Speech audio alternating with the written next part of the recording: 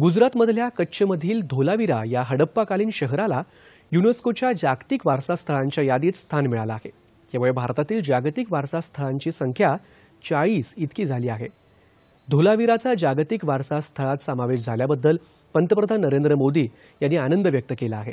पुरातत्व विज्ञान आणि इतिहासाची आवड असणाऱ्यांनी या ठिकाणाला अवश्य भेट द्यावी असं त्यांनी ट्विटरच्या संदेशात म्हटलं आहे.